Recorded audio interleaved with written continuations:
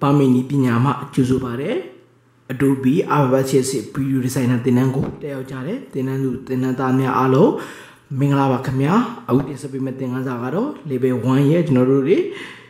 ကျုံညာဒီဇိုင်းတွေရေးဆွဲတဲ့နည်းလမ်းလေးမှာဖြစ်တယ်ကျွန်တော်တို့ရင်တော့လေ့လာခဲ့တဲ့လိုဝါသက်သင်ခန်းစာနှစ်ခုကိုလေ့လာပြီးသွားပြီပေါ့နော်အခုတင်ဆက်လေ့လာရမှာကကျတော့ Budget Home Design ဆွဲတဲ့နည်းပေါ့ကျွန်တော်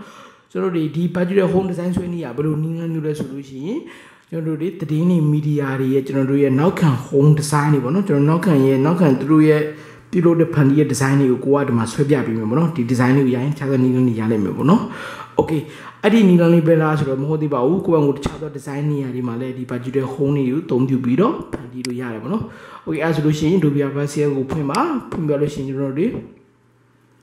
ဒီမှာကျွန်တော်တခုပြောချင်တာကဒီသင်ငန်းစာရဲ့ DVD ခွေထဲမှာကျွန်တော်တို့မှာဘာကျူတဲ့ပိုတိုဆိုပြီးတော့အများကြီးပဲเนาะဘာကျူတဲ့ကျွန်တော်19ခုတော့ကျွန်တော်ထည့်ထားပေးပါတယ်အဲ့ဒီမှာကိုကဒီအခုရှင်းပြပေးမယ့်သင်ခန်းစာတွေတခုကိုလေ့လာပြီးသွားပြီဆိုရင်ကြိုက်တဲ့သင်ခန်းစာဒီဇိုင်းတွေကိုကိုကကိုဖန်တီးပြီးဆွဲပေါ့နော်အဲ့လိုမျိုးကိုကလေ့လာဆွဲမှသာတင်ကိုကအဆင်မြင့်နဲ့နိပညာသမားတယောက်ဖြစ်လာလိမ့်မယ်နော်โอเคအဲ့ဆိုလို့ရှိရင်ကျွန်တော်စကားတွေအများကြီးမပြောသေးဘူးဒီဇိုင်းကိုရင်ဆွဲကြည့်လိုက်မယ်နော်โอเคအဲ့တော့ Adobe Affinity ကိုဖွင့်ပါဖွင့်ပြလို့ရှိရင် composition တခုတိဆောက်ပါ composition သွားပါ new composition ထောက်ထောက်ပြီးဒီမှာ name ရေးမယ် name ရေးမယ် birtu ရပါကြည့်တယ် home အဲ့လိုမျိုးလေး name ရေးမယ်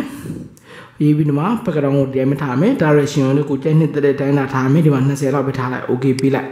okay အဲ့ဒါပြောလို့ရှင်ကျွန်တော်တို့မှာဆိုရင်ဘာကိုယူမယ်ဆိုရင် ကျွန်တော်တို့ဒီ design budget ရဲ့ design တွေဆိုတာကသူ့ရဲ့ design အမျိုးမျိုးရှိတယ်အဲ့တော့ကိုလာရောက်ပြုလုပ်မဲ့ customer ရဲ့ပုံမှာမူတည်တယ်ပေါ့နော် customer တချို့ကျတော့သူတို့ရဲ့မူရင်း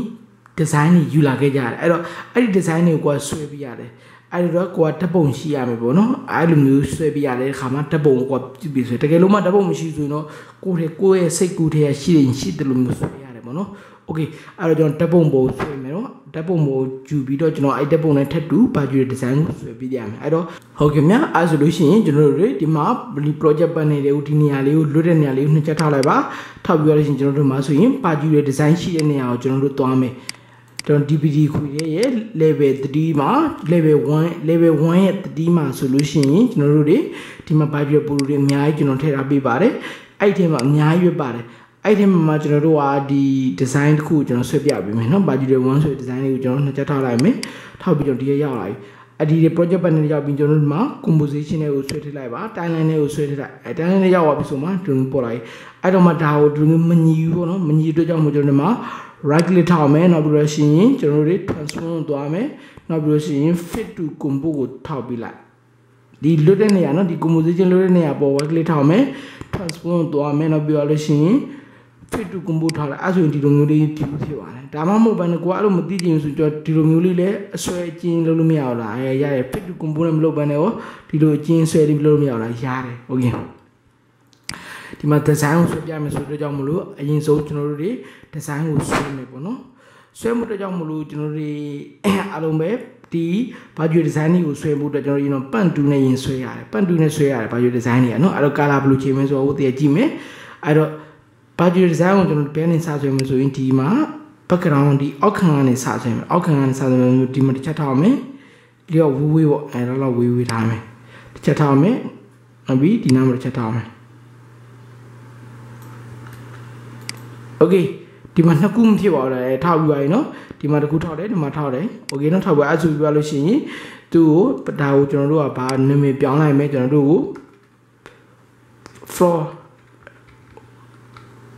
floor ဆိုပြီးတော့ကျွန်တော်ဒီမှာ fa ကို floor ဆိုပြီးကျွန်တော်ကျန်းတင်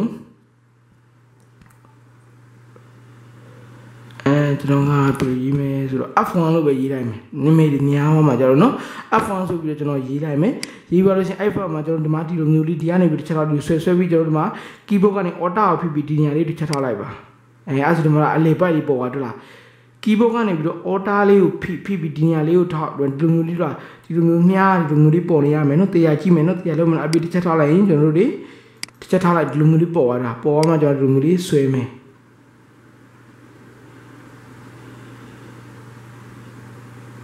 โอเคเนาะ အဲဆိုအားလုံးပဲရနိုင်မယ်ဒီလိုမျိုးလေးဆွဲတယ်နော်တရားတရားလည်းရောက်ကြည့်ပါ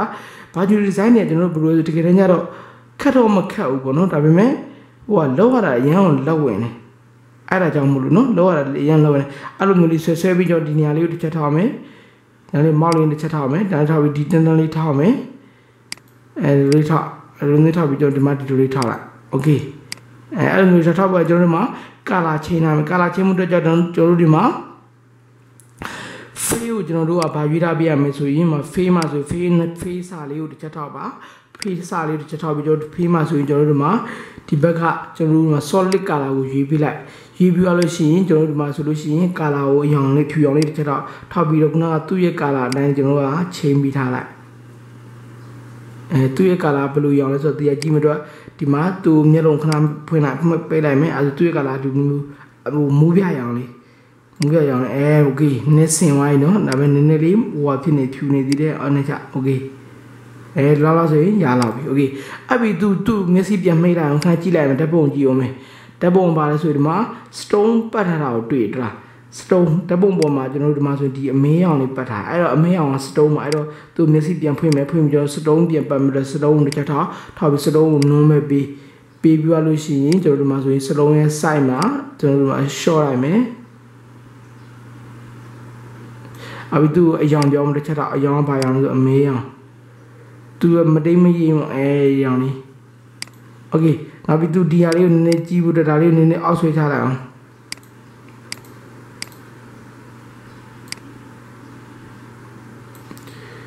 အဲ့ဒါကဒီမှာဒီပါလေးကိုဗားလေးတစ်ချက်တော့ထောက်ပြီးအောက်လေးနည်းနည်းဆွဲချရမယ်ဆွဲလိုက်ဒါလေးနည်းနည်းဆက်တင်နိုင်မယ် selection 2ယူမယ် sorry နော် selection 2ယူပဲလူမျိုးဆွဲလိုက်မယ်အဲလူမျိုးဆွဲပြီးတော့သူ့မောက်ရင်းတွေဆွဲဆွတ်တင်လိုက်အဲနောက်ပြီးဒီနေရာပြန်သွားမယ်သွားပြီးလို့ရှိရင်ကျွန်တော်တို့မှာဆိုရင်မရှိတ်ကိုတစ်ချက်ထားပြီးတော့ကိုက stone တစ်ချက်ထားတဲ့အခါမှာဒီလိုမျိုးရမှာကိုကဒီမှာပန်တူလေးယူပြီးတော့ဒီလိုမျိုးလေးတွေကျွန်တော်တို့အလေ point လေးကိုဒီလို point လေးလက်ချောက်ချိန်ပေးရတယ်နော်အဲ့လိုလေးချိန်မှသာလင်းသူကအဆင်ပြေလောက်မယ်နော်โอเคအဲ့လိုမျိုးလေးချိန်ရတယ်သူအုံကညာဖြစ်အောင်မနော်သူရဲ့ဒီဇိုင်နာဆွဲတဲ့ပူတူနဲ့ ကိုဖန်တီးတဲ့ put design နဲ့ကဝင်ရဖြစ်အောင်ဆွဲပေးရမှာဖြစ်တယ်။ Okay ဒီလောက်လေးဆိုရင်အောက်ခံခြေခံလေးပြီးသွားပြီအောက်ကခြေလေးရလောက်ဆိုရင်ရလာပြီနော်စတုံးကြီးလားမကြက်ကြီးကိုမကြီးသေးတယ်အဲ့ဒါစတုံးပတ်ထားတာဘယ်တော့ထားမယ်ဆိုရင်30လောက်ပဲထားလိုက်မယ် Okay 30လောက်ဆိုရင်တော့စင်ပြေလောက်ပါပြီနော်အဲ30လောက်ဆိုရင် okay ပါပြီနော်အဲ့30လောက်ဆို okay ပါပြီအဲ့ဆိုရင်30လောက်ဆိုရင်ဒီမှာဆိုရင် ဒီမှာ stone ပြန်ထောက်ထားပြီးဒီမှာဒါလေးတိုင်းပြန်သွားပြီးတော့အဲလိုပြန်ချိန်ပေးရအောင်မယ် okay အဆိုရပြီအဆိုရင် background တခုရပြီနောက်တစ်ခုဒီမှာဘာလုပ်ထားသေးလဲဆိုရင် तू ကနောက်ထပ် background နောက်ထပ်ဒီဒီ background နောက်ထပ် तू ကဘာလဲဆိုရင် အောက်ခြေတခုဒီမှာထပ်ဆွဲပေးရအောင်ဖြစ်တယ်အဲ့တော့ဒီနေရာလေးကိုတစ်ချက်ထားအောင်မယ် ထောက်ပြောလို့ရှိရင်ကျွန်တော်ဒီမှာဆိုရင်ဒီနေရာလေးတန်းတန်းလေးတစ်ချက်ထောက်မယ်ထောက်ပြောလို့ကျွန်တော် keyboard ကနေ order ကိုဒီနေရာလေးကိုထောက်လိုက် key order ကိုဖိထားပါဖိပြီးဒီနေရာလေးကိုတစ်ချက်ထောက်လိုက်အဲထောက်ပြီးဒုံမျိုးပေါ်လာမှသူ့ကိုဒုံမျိုးလေးဆွဲပြီးလိုက်အဲလုံမျိုးလေးဆွဲဆွဲပြောလို့ရှိရင်ကျွန်တော်ဒီမှာဆိုရင်ဒီလောက်လောက်ကိုသွားမယ်နောက်ပြီးလောက်လောက်ကိုသွားမယ်အလောက်ကိုသွားမယ်ဒါလေးပဲဆွဲထားတယ်။ Okay အဲ့လိုမျိုးပြောရရင်သူ့ကိုကျွန်တော်တို့ကဒီ layer ကိုကျွန်တော်ပြန်မထားမှဆိုရင်ဒီမှာ fat ထားကိုတစ်ချက်ထား right click ထားမယ် rename ဆိုတာလေးကိုအနေပြောင်းပြောင်းပြီးသူ့ကို f2 လို့ထားမယ် f2 လို့ရေးလိုက်တဲ့ခါကျရင်ဒီလိုမျိုးရမယ်နော် f2 လို့ရေးရေးပါသူ့ကို f2 ကို f1 အောက်ဆွဲချထားလိုက်အဲအဲ့လိုဒီလိုပေါ်သွားပြီပေါ်ပြီးသူ f2 တစ်ချက်ထောက်ပြီးကျွန်တော်တို့ brush ဆွဲတဲ့အတိုင်းပဲ color ပြောင်းမယ် color ကဘာရောင်လဲဆိုတော့နည်းနည်းဖြူပေးလိုက်အဲလိုလေးဖြူထားလိုက်မယ်သူကကြတော့ဒီဓာတ်ပုံကိုဓာတ်ပုံက stone မပတ်ထားရတော့ကြောင့်မလို့ကျွန်တော်တို့မှာစီ stone မှာကျွန်တော်တို့ဒီ ပိတ်ထားတဲ့နုံလေးယူပြီး okay ပေးလိုက်အဲအဲ့ဆိုရင်အားလုံးပဲရလိမ့်မယ် okay အဲ့ဆိုကျွန်တော်လွတ်ရတာလေးကိုပြန်ကြည့်ကြည့်မယ်အဲနည်းနည်းနီးစက်လာပြီနော်โอเคเนาะနည်းနည်းနီးစက်လာပြီเนาะအဲ့ဆိုအဲ့လိုရလာပြီနောက်တစ်ခုကျွန်တော်ဒီမှာဆိုလို့ရှိရင်ဘောင်းနေဆွဲရအောင်မယ် ဒီပုံမှာသူကဘောင်းဒီဒီဒီဟာလေးတွေဆွဲရမယ်အဲ့ဒါလေးဆွဲမှသာနေသူကတေချာကြည့်နော်အားလုံးမလွယ်တော့လွယ်ဒါပေမဲ့ဆွဲတဲ့ရင်တော့လွယ်ဒါပေမဲ့နောက်ပိုင်းကျရင်သူကဆွဲပါများရင်ကျွမ်းကျင်သွားလိမ့်မယ်နော်โอเคအဲ့ပေါင်လေးဆွဲပြီးတော့ကျွန်တော်ဒီမှာဆွဲထားဒီစတုံးလေးဒီ fill f1 f2 ခဏလေးမျက်စိမိတ်ထားလိုက်မိတ်ထားပြီးလို့ရှိရင်ဒီမှာဒီဓာတ်ပုံပဲမျက်စိဖွင့်လာပြီပေါ့နော်ဖွင့်အဲ့ဓာတ်ပုံပေါ်မှာပဲကျွန်တော်တို့တစ်ချက်ထားပြီးတော့ကျွန်တော်တို့ဒီမှာဒီဘောင်လေးဆွဲမယ် အဲအဓာတ်ပုံပေါ်ကိုလေယာကိုတစ်ချက်ထောက်တာလို့မရအောင်နော်လွတ်တဲ့နေရာပဲထောက်တာအဲ့ဒါမှ तू ကရှိတ်ဝင်ပါနော်လွတ်တဲ့နေရာပဲတစ်ချက်ထောက်တာနော်โอเคအပြီးတော့ဒီဘောင်လေးဆွဲမှုကြောင့်တည်တက်ဖို့အတွက်ကြောင့်မသူ့ကျွန်တော်တို့ကဒီနေရာမှာ view နေရာမှာကျွန်တော်တို့90 view လောက်ထား50 view များရင်100 view ထားမယ်ထားပြီး keyboard ကနေပြီးတော့ mouse လေးကိုဖိတာကို speed bar ကိုဖိလိုက်ဖိလိုက်လက်ဝါးပုံစံပေါ်လာတယ်ဒါမှမဟုတ်ဒီလက်ဝါးလေးကိုယူပြီးတော့လည်းလူရွှေ့လို့ရတယ် ဟိုကမကျွမ်းကျင်ဆို keyboard ကနေတော့ speed bar လေးဖိပြီး mouse selection tool လေးယူတာဒီက speed bar လေးပြီးပြီးတော့လူရွှေ့လို့ရတယ် okay အမှပန်တူပြန်ယူယူပြောလို့ရှိရင်ကျွန်တော်တို့မှာလွတ်တဲ့ layer ထားတော့ကျွန်တော်တို့မှာ layer တစ်ခုခုပေါ်တထားလို့မရအောင်နော်ထားလိုက်လို့ရှိရင်ကျွန်တော်တို့ကပန်တူနဲ့လွတ်လို့ရင်သူက must ဖြစ်သွားတယ်အဲ့တော့လွတ်တဲ့နေရာလေးပဲတစ်ချက်တော့ထောက်ပြီးတော့မှဒီနေရာလေးတစ်ချက်ထောက်မယ်ဒီကနေပဲဒီလိုမျိုးလာမယ်နောက်တစ်ခုသူကဘယ်လိုမျိုးလာမယ်ဆိုရင်သူ့ကိုကျွန်တော်တို့ကဘယ်လိုမျိုးဒီတစ်ဆက်တည်းဆွဲလို့မရဘူးပေါ့နော်ဒီတစ်ခုပြီးတစ်ခုဆွဲမှရမှာ အဲ့တော့မလို့ကျွန်တော်ဒီတခဏပြအောင်ဆွဲမဲ့အတွက်ကြောင့် keyboard က speed bar လေးကိုဖိတာမောက်လေးနဲ့ပုံတက်သွားမယ်ဒီဒီဆွဲမယ် okay ဒီနားလေးဆွဲမယ် okay အဘီတူအောက်လေးကိုပြန်စပီပါလေးနဲ့ပြန်ပြီးဆွဲချလာမယ်။ Okay နောက်ပြီးဒီမှာတည်တက်အောင်လို့ဒီနားလေးကိုလိုမျိုးလေးပြန်ပိတ်မယ်။ဒီနားလေးကိုဒီလိုမျိုးလေးပြန်ပြီးတော့ပိတ်လိုက်မယ်။ Okay အဲ့ဆိုကျွန်တော်တခုမပြီးရလားပြီးသွားပြီ။အဲ့ဒီပုံမှာပဲတစ်ချက်ထောက်ပါ။ထောက်ပြီးသူ့ကိုကျွန်တော်တို့မှာကာလာချင်းလိုက်မယ်။ကာလာကဘာရောင်ပြောင်းလဲဆိုရင်အထူရောင်ပြောင်းလာမယ်။ Okay အထူရောင်လေးပဲပြောင်းလာပေးလိုက်မယ်။ Okay နော်။ तू ကဘာလဲဆိုရင်တရားကြည့်မယ်ဒီမှာဆိုရင်ကိုရင်ဒီညာလေးတစ်ချက်ထောက်ပြောလို့ရှိရင်ကျွန်တော်တို့မှာဆိုရင် contact ကိုထောက်ထောက်ပြီးတော့ဒီမှာ shape 1 shape 1နေနဲ့သူကလို့ပေါ်ပါပြီကဲနောက်တစ်ခုသူ့နေရာကိုတစ်ချက်ထောက်ထောက်ပြီးတော့ဒီမှာလွတ်တဲ့နေရာလေးဒီနေရာလေးမှာတစ်ချက်ထောက်လိုက်မယ်အဲမှာ shape 2ဆိုတဲ့တစ်ခုပေါ်လာပြီเนาะအဲ shape 2ကိုလုံးလုံးပါမယ်အဲ့တော့ဒီနေရာလေးကိုတစ်ချက်ထောက်မယ်လူမျိုးလေးအဲ့လိုမျိုးလေးထားမယ်သူ့ကိုတစ်ထောက်ပိုင်းကျွန်တော်တို့မှာစပီပါလေးနဲ့အောက်ကိုဆွဲထားမယ်ဒီနေရာလေးတစ်ချက်ထားမယ်နောက်ပြီးဒီလိုမျိုးလေးတစ်ချက်ထားမယ် အဲထားပြီးသူ့ကိုကျွန်တော်တို့ဒီမှာဆွဲပြီးတော့လေးဘက်လေးလန်ထားလိုက်ထားပြီးတော့မှကျွန်တော်တို့ဒီမှာသူ့နေရာတန်းလေးလိုက်ချမယ်อืมအဲ့လိုနေရာတိုင်းလေးချချမယ်ချပြီးရဒီမှာလည်းနေရာတိုင်းလေးချချမယ်โอเคအဲ့လိုနေရာတိုင်းလေးချချမယ်ချပြီးရင်ကျွန်တော်တို့ကဒီမှာ shape shape 2ကို shape 1အောက်ကိုမောက်လေးနဲ့ဖိပြီးဆွဲထားလိုက်ဒါကြပါတော့ဆိုဒီ shape 1လေးကအပေါ်ရောက်မှာ shape shape 2လေးကအောက်ရောက်မှာမို့အဲလိုဆွဲကြဆွဲကြပြီးကျွန်တော်တို့ဆွဲဆွဲပြီးကျွန်တော်တို့မှာဆိုရင် shape 2ကိုပဲတစ်ချက်ထားမယ်ထားပြီးတော့ဒီနေရာလေးမှာ order လေးဖိပြီးတော့တစ်ချက်ထားလိုက်ထားပြီးတော့အကုန်းလေးလိုချင်တာကိုလူလေးကုန်းပေးလာမှာအဲ sorry အဲ sorry နော်သူကသူဒီမှာကုန်းပေးရမှာဆိုတော့သူကဒီမှာကုန်းကုန်းမှာတွေ့လားသူကလောတစ်ချက်ထားလိုက်တာနဲ့တော့ကုန်းသွားတယ်မှားတယ်ပြန်ဆုပ်မယ် keyboard control Z ကိုနှိပ်မယ် ဒါပေမဲ့ဒီမှာကြတော့လေးဘက်လေးနဲ့လုံးလောက်ထားတဲ့အတွက်ကြောင့်မလို့ကျွန်တော်တို့ဒီမှာဆိုရင်ဒီ order ကိုဖိပြီးကျွန်တော်ဒါလေးကိုတွက်လို့လို့မရတော့ဘူးပေါ့နော်ဒီလိုမျိုးလေးပဲကျွန်တော်နည်းနည်းလေးပဲပြုပြင်ပြီးမှရတော့မယ်နော်ဒီအကုန်းနဲ့တန်ဆိုင်ကတော့လေးဘက်လေးနဲ့လုံးသူ့ကိုလှုပ်လှုပ်ထားဖြစ်တဲ့ကြောင့်မလို့ဒီဒီလောက်လောက်လေးပဲအသုံးပြုလို့ရမယ်ပေါ့နော်။ Okay အပိသူတစ်ချက်ထောက်ပြီးကျွန်တော် shape တူတစ်ချက်ထောက်ထောက်ပြီးကျွန်တော်တို့ကာလာကဘာရောင်ပြောင်းပြရမယ်ဆိုနည်းနည်းလေးကျွန်တော်အရောင်ပြောင်းပြရဒီမှာတော့ ဒီ layer ကိုထောက်ပြီးတော့ပြောင်းရတော့ဒီအကုန်လုံးပြောင်းသွားမှာပဲအဲ့တော့ layer ထောက်ပြီးပြောင်းကြမလို့နော် shape 2တစ်ခုတည်းကိုထောက်ပြီးတော့မှသာလေဒီ layer ရဲ့ shape 2 layer အောင်မှာကျွန်တော်တို့ကကိုဒီမှာ color လေးနည်းနည်းလေးပြောင်းပေးရမှာ okay အဲဆိုရင်နှစ်ခုပြီးသွားပြီနောက်တစ်ခုအနေနဲ့ကျွန်တော်ဒီမှာဒီဘက်ကဟာဆွဲမယ်တစ်ချက်ထောက်မယ်ဒီမှာတစ်ချက်ထောက်လိုက်မယ်အဲအဲ့လိုပြောရစီကျွန်တော်တို့စပီပါလေးဖိပြီးတော့အောက်ဆွဲချလာမယ်ဒီနေရာမှာတစ်ချက်ထောက်မယ်ဒီနေရာမှာတစ်ချက်ထောက်မယ်လေးဘက်လေးလန်ထောက် ထားပြီးတော့ကျွန်တော်တို့မှာတစ်ချက်ပိတ်လိုက်ပိတ်ပြီးတော့ရှင်ကျွန်တော်တို့မှာ shape 3 shape 3ရတဲ့ထုံးစံတိုင်းပဲ shape 2ရဲ့အောက်ကိုဆွဲချတာပေးပါပေးပြီးတော့မှကျွန်တော်ဒီမှာဆိုရင်ဒီနားလေးမှာဒီလိုမျိုးလေးလက်ဆွဲမယ်ညီငယ်ရလေးပေါ့နော် okay နောက်ပြီးရင်ဒီနေရာမှာဒီလိုမျိုးလေးဆွဲမယ်ဆွဲပြီးတော့ဒီမှာဆိုရင်ဒီမှာဒီလိုမျိုးလေးဆွဲမယ်နောက်ပြီးရင်ဒီမှာဒီလိုမျိုးသူ့နေရာတိုင်းချတယ်ချပြီးတော့မှ shape 3ကိုတစ်ချက်ထောက်ပါထောက်ပြီးဒီမှာ color ကဘာရောင်ပြောင်းမယ်ကျွန်တော်ဒီမှာအဖြူရောင်ပြောင်းမယ်ဒီဖြူလေးပဲ okay အဲဆိုရင်ကျွန်တော်တို့ရတဲ့ဟာလေးကပြီးသွားပါပြီအဲဆိုသူ့တစ်ချက်ထောက်ပြီးရင်ကျွန်တော်တို့ဒီ design လေးတည်တက်လားမတည်တက်လားဆိုတော့မလိုက်ချောက်ကြည့်ကြည့်မယ်မတည်တက်လားမတည်တက်သေးဘူးတော့မတည်တက်ဆိုကျွန်တော်တည်တက်လို့ပြတော့ဘယ်ကောင်တည်တက်ဖို့လိုရဲဆိုရင်မှ shape 2 shape 2ကျွန်တော် online နဲ့ချမယ်အဲတည်တက်လားမတည်တက်ပြင်ကြည့်ကြည့်မယ်လွတ်တဲ့နေရာလေးချက်ထားလိုက်ပါဒီမှာမောင်းနေကျွန်တော်ဒီလွတ်တဲ့နေရာလေးချက်ထားလိုက်ညညီလိုက်လားဘောကပြန်သွားမယ်ဘောဟာကြည့်မညီလား ဘောဟာလည်းညီသွားပြီโอเคညီသွားပြီဆိုဓာတ်ပုံလေးနှစ်စီခဏပိတ်လိုက်မယ်โอเคဒီမှာဆိုနည်းနည်းလေးပေါ်သွားတယ်ပေါ်ရင်သူ့ကိုရှိတ်တူချက်တော့ပြီးနည်းနည်းလေးအော်လေးဆွဲချထားမယ်โอเคအော်နည်းပြင်ကြပါစေတေးတေးတော့လုံးမှုတဲ့နောက်တဲ့နံပါတ်200ကိုရွေးလိုက်မယ်200နဲ့မှတေးကြ view ရမှာဘူးရှိတ်တူချက်ထားမယ်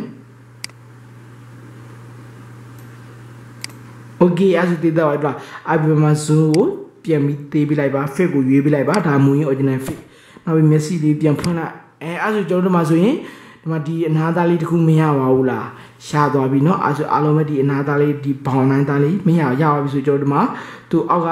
ကျွန်တော်တို့မှာဆိုလို့ရှိရင်သူအောက်ကတော့မျက်စိဖွင့်လာတဲ့ဟာလေးမျက်စိဖွင့်လိုက်ပါမျက်စိပိတ်တာဖွင့်နောက်ပြီးကျွန်တော်တပ်ပုံလေးမျက်စိပိတ်ကြည့်လိုက်အဲဒါဆိုကျွန်တော်ခုနဆွဲထားတဲ့ဒီဇိုင်းလေးဒီဇိုင်းလေးမရနိုင်ဘူးလားရနေပါပြီအဲ့ဆိုနည်းနည်းလေးအဆင်ပြေလာပြီရောเนาะအားလုံးမသိကြနားထောင်เนาะโอเค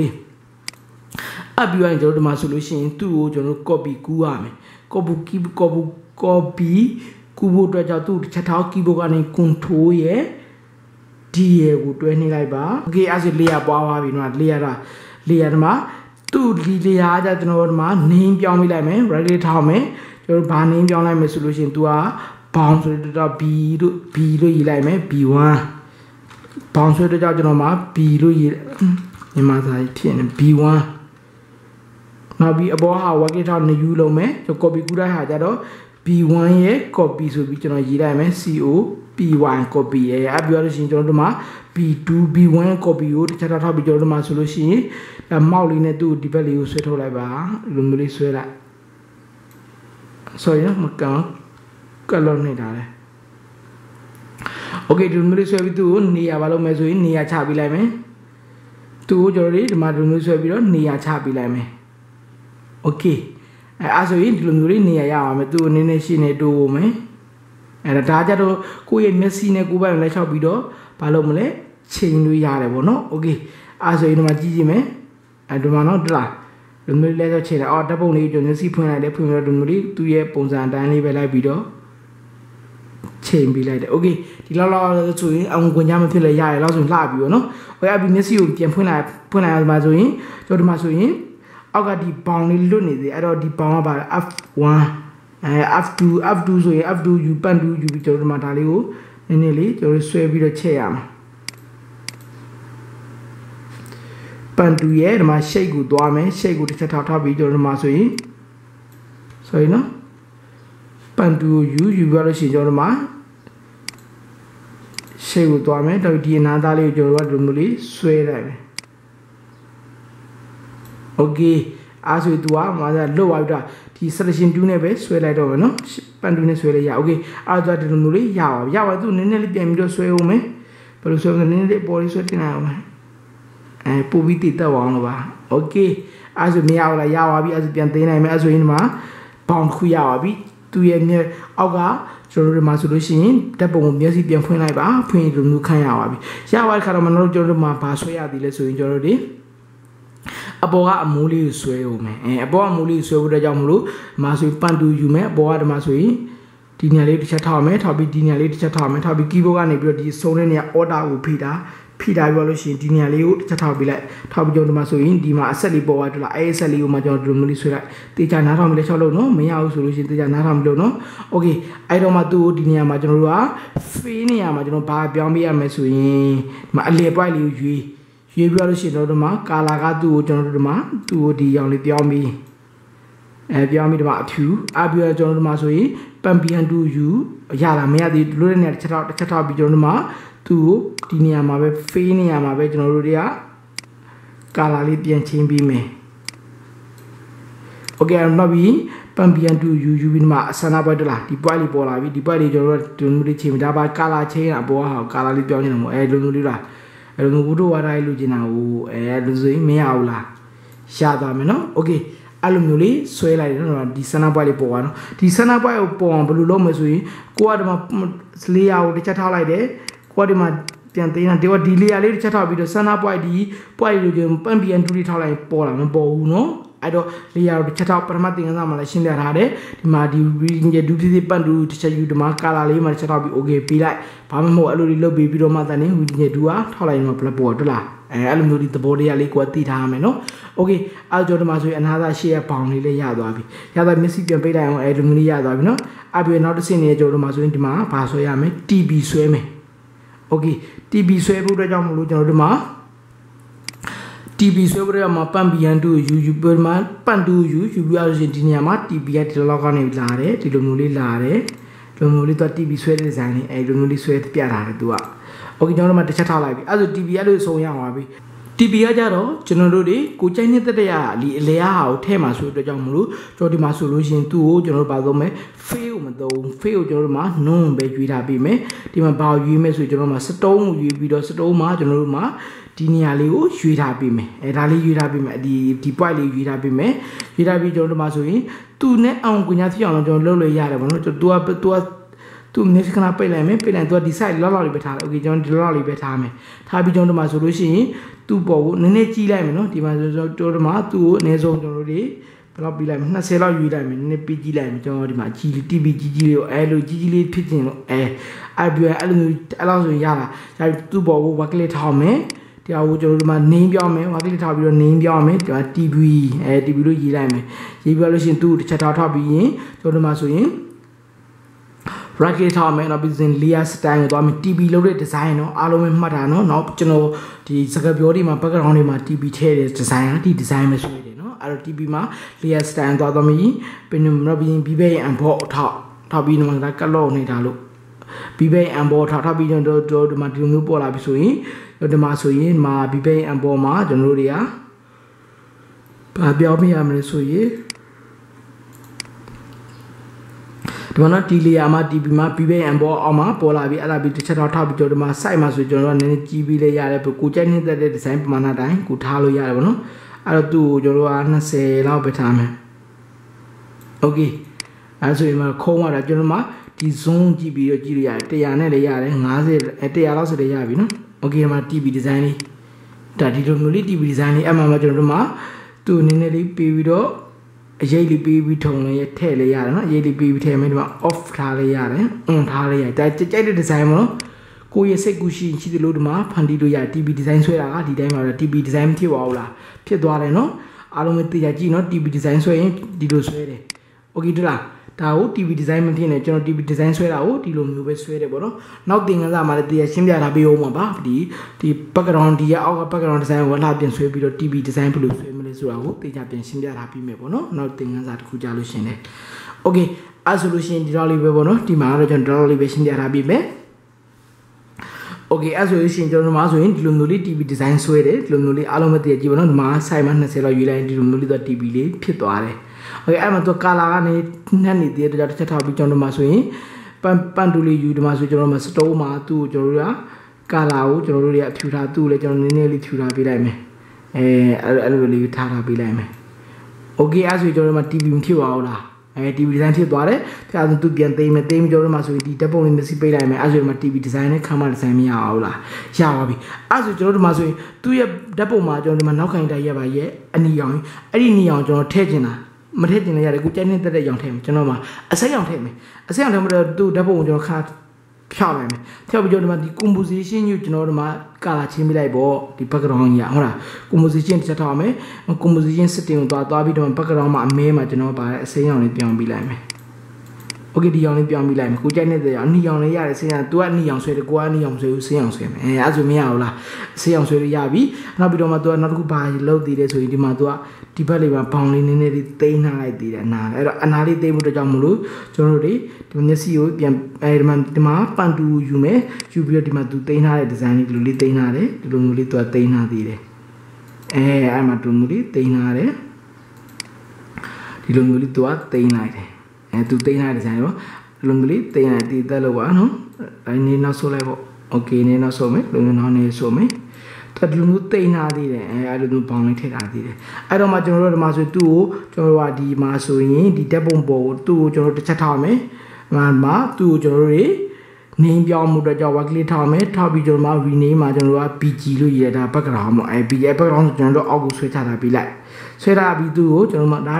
ဒီလိုစာတန်းပေါ်ကျင်တော့ကတ်လော့ကိုကျွန်တော်တို့ကအယောင်ကြီးရေးထားလို့နော်အဲ့တော့အကြီးပြုတ်ပြန်ပြီးတော့ပြောင်းပြီးလိုက်အဲ့ဆိုသူ့ကျွန်တော်တို့မှာသူ့တွန်းတို့ထောက်လာလို့ရှိရင်ဒီမှာသူက background အောက်ရောက်ပဲအဲ့ဒီမှာသူ့ကျွန်တော်တို့မှာ fade မှာပဲတုံးမယ် stone မတုံးဒီအပြားကြီးကပါ fade နော်ဒီဘက်ဘေးအနာသာကွတ်တာက stone နဲ့ပတ်တာနော်အဲ stone ကျွန်တော်က no မဲ့ရွေးထားပြီးမယ်ဒီအနီးဆက်လေးပဲရွေးထားပြီး no မဲ့ရွေးပြီး fade မှာကျွန်တော်တို့က color change မှုတော့ fade မှာကျွန်တော်တို့ဒီရောင်ပြောင်းမယ်ဒီရပဲနော် redecorative ကိုရွေးပြီး okay ပေးမယ်ပေးပြီးတော့မှကျွန်တော်တို့မှာဆိုရင် reading ရဲ့ပန်ပီဟန်တူလေးယူယူပြီးတော့ဒီမှာကျွန်တော်တို့ကသူ့ဒရုံမျိုးလေးဖွာလာပေးလိုက်တယ်အဲဒရုံမျိုးလေးသူ့ရဲ့ design လေးဖွာလာလိုက်တယ် โอเคเนาะအားဆိုအားလုံးပဲရလိုက်မယ်ပေါ့နော်သူ့ရဲ့ဒီဇိုင်းနဲ့မတူပါဘူးလားမတပ်ပုံကိုပိတ်လိုက်တာလည်းဒီဇိုင်းမရပါဘူးโอเคအားဆိုရင်အားလုံးပဲဒီဟာလေးကိုမရဘူးလားရသွားပြီနော်မှာဆိုခါမဒီဇိုင်းနဲ့ခါမဒီဇိုင်းမှာမှာဒီမှာကိုကြိုက်နေတဲ့တဲ့ဟာ ကျွန်တော်မမြင်တာဘူးလားမြင်တာပါပြီနော်အဲ့ဒါအစိမ်းကိုကမကြက်ကျင်ဆိုရင် composition setting သွားမယ်ကိုကသူ့ရဲ့မူရင်း origin အတိုင်းပဲနီအောင်လေးပဲဆိုရင်နီအောင်လေးပဲပြီးထားပြီမယ်โอเคအဲ့ဆိုရင်မဖြစ်ဘူးလားဖြစ်တာပဲเนาะအဘီတို့မှာဒီထဲမှာကိုကြိုက်နေတဲ့ဗီဒီယိုလေးတစ်ခုထည့်ကြည့်မယ်ကွာအဲ့နှစ်ချက်ထောက်မယ်ထောက်ပြောလို့ရှိရင်ကျွန်တော်တို့မှာဆိုရင် desktop သွားကျွန်တော်မှာဗီဒီယိုပေးထဲမှာရှိတယ်ကြည့်လိုက်အောင်မယ်โอเคဒီမှာဗီဒီယိုရှိတယ်အဲ့ဗီဒီယိုလေးနဲ့ကျတော့ဒီရဲဆွဲထည့်လိုက်မယ်ဒီမှာ TV ပေါ်ကို TV အောက်ကိုဆွဲထည့်လိုက်မယ် အဲဆွဲတဲ့ပြီးသူ့ကိုကျွန်တော်တို့မှာအနာသားလေး copy ကျင်းမယ် TV နဲ့သူအဝင်ရဖြစ်အောင်လေဟာလေမဟုတ်လားအဲဒီလိုမျိုး TV နဲ့အဲကျွန်တော်တို့မှာကျွန်တော်ဆွဲတဲ့ design လေး TV လေးနဲ့အဝင်ရလေးဖြစ်အောင်အဲ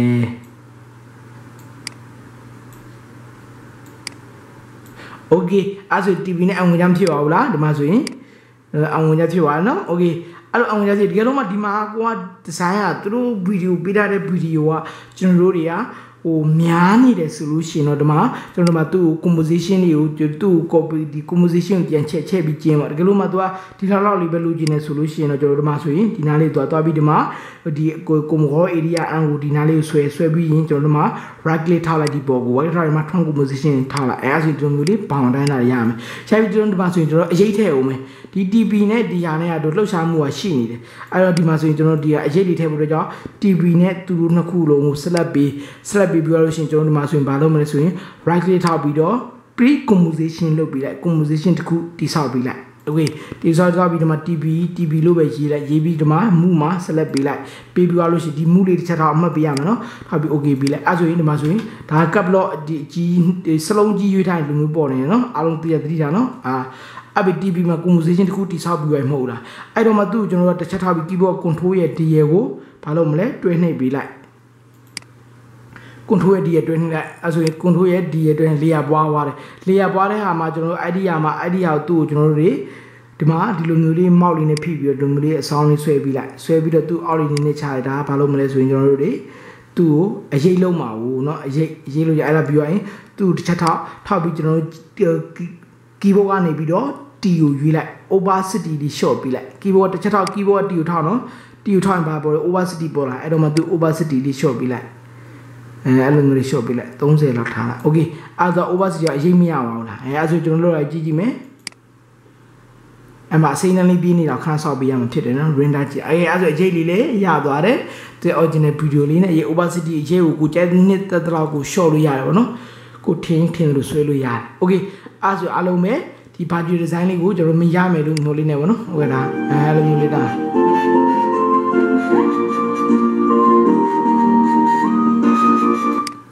okay အဲ့ဆိုအားလုံးပဲဒီမှာ budget design နဲ့မတူနေဘူးလားတူသွားပြီเนาะတက်ပုံအတိုင်းပဲဖြစ်သွားပြီเนาะအဲ့ဆိုအားလုံးပဲဒီမှာ budget design ကိုဆွဲလို့ရလိမ့်မယ်လို့ကျွန်တော်တို့ညွှန်လင်းပါတယ်ဒီတိုင်းလေးပဲဒီလိုခမ်းမ design လေးတွေကိုဆွဲတယ်ပေါ့နော် okay ခမ်းမ design ဒီမှာဆွဲဒီမှာ तू ကသူ့ရဲ့တက်ပုံထဲမှာအနီပါတယ်ပေါ့နော်ဒီမှာဆိုကိုယ့်အကိုထက်ထက်လေးရတယ်ပေါ့အနည်းဆုံးဖွင့်ကြည့်လိုက်ဒီတက်ပုံကဒီမှာဆိုရင်အနီလေးတွေပါတယ်အဲ့ဒီအနီလေးတွေကိုလည်းကိုဘန်ကိုကြိုက်ရင်ထက်ဆွဲတဲ့တော့เนาะမကြိုက်ရင်လည်းမဆွဲတဲ့လို့ရတယ်ပေါ့နော် okay ဒီတိုင်းလေးပဲဖြစ် budget design ကို ကျွန်တော်တို့တွေဆွဲပါတယ်ခင်ဗျာအဲဆိုလို့ရှိရင်အားလုံးပဲ